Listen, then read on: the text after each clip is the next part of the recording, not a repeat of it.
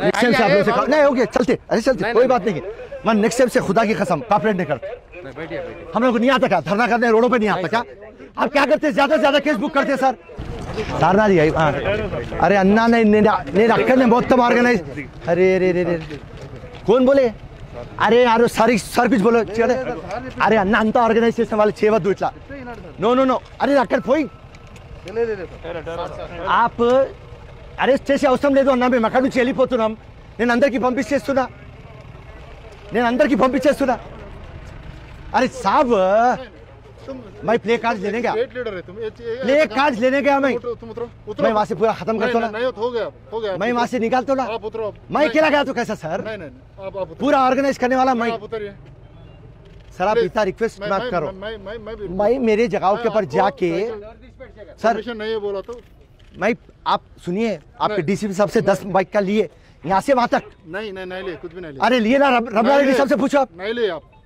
अरे नहीं लिए तो फिर हम चले जाते। प्लीज़ एसीपी साहब ये देखो ये सही नहीं आप है। कोऑपरेट करना आप cooperate हम कभी भी करें कॉपरेट आप कोऑपरेट हम कॉपरेट करें हम हम वहाँ से पूरा चले गए तो इज़्ज़त जाती। आप हाँ इज़्ज़त जाती। अब जाओ मैं सेट कर देता हूँ। आप कर लिए सर मैं सेट करता हाथों से कर हूँ एसीपी साहब आपको मेरे पे भरोसा है ना? अब नया आना था वहाँ रोके तो मैं नहीं रुके। नहीं सर मैं प्ले कार्ड देने आया। ज़रूरत नहीं था। अरे प्ले कार्ड होना सर प्लेस के सामने सिंबॉलिक है, गया ना?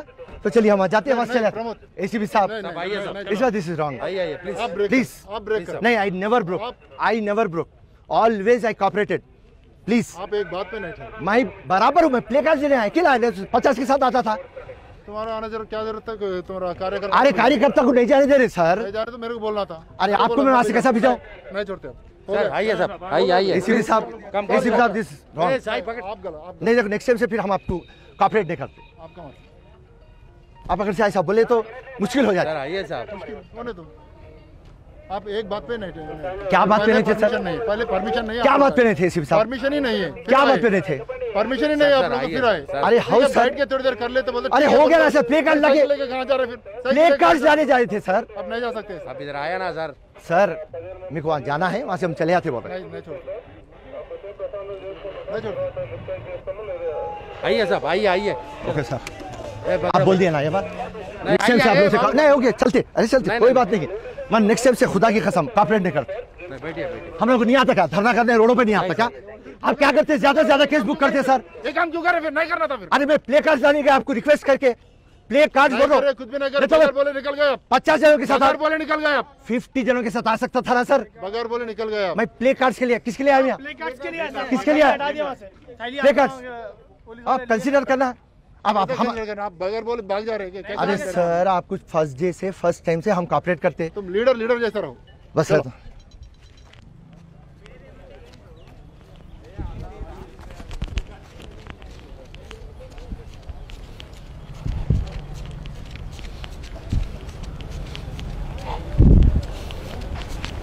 दे पानी दे साइकिल लेके चलो सीनियर लीडर फिर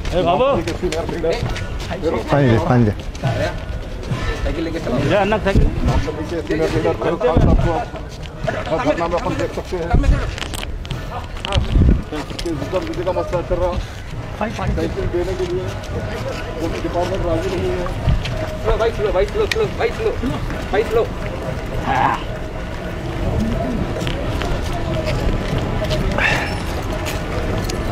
हर जगह।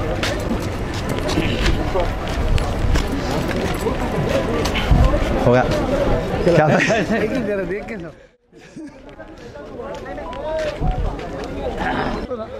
ये देखिए, ये पुलिस परमिशन हम डाले बाद पुलिस रिजेक्ट कर दी। तो इसे साफ़ पता चल रहा टीआरएस की गवर्नमेंट नरेंद्र मोदी के साथ मिलके है। आज जो पेट्रोल का इजाफा हो रहा, एक कॉमन आदमी को आप ख़त्म कर दे रहे कोविड 19 में आदमी मर गया। और आज ये जो प्राइस हाइक है, आज जो बढ़ावा प्राइस है, इससे लोग इतने परेशान हैं, नौकरियाँ चले गए। कारोबार ख़त्म हो चुका। लोगों के पास पैसा नहीं। जेब खाली है। और उसके बाद में कोविड उसके बाद में ये महँगाई। हमारे को ये बात नहीं समझ में आती।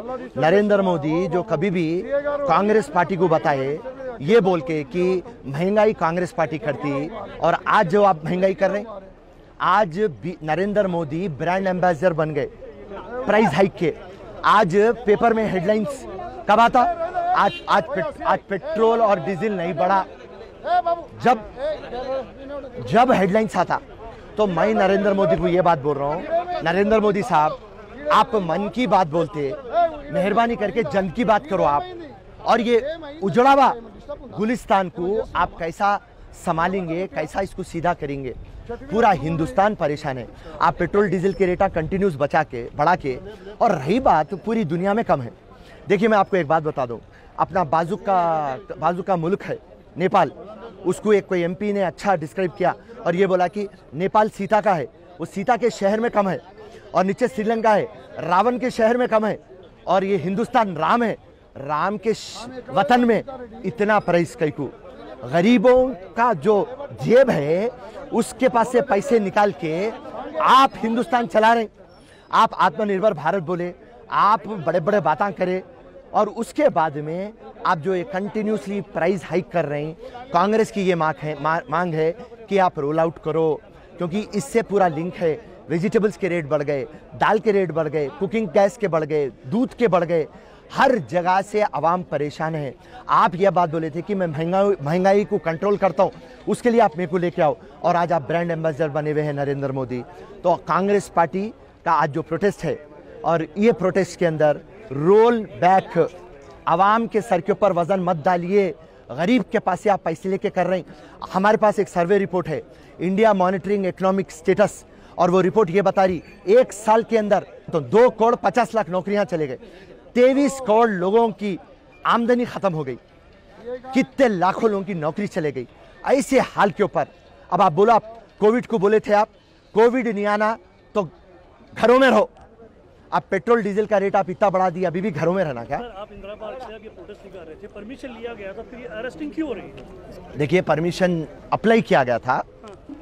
और लाजमी बात है जब धरना चौक के ऊपर हम एहतजाज करते तो पुलिस का काम है धरना चौक पे हमको परमिशन देना मगर यहाँ पे टीआरएस गवर्नमेंट क्लियर कट बता दे रही। हम एहतजाज कर रहे हैं सेंट्रल गवर्नमेंट के ऊपर। तो यहाँ पर केसीआर और उनकी टीम बता दे रही कि हम बीजेपी से मिले हुए हैं।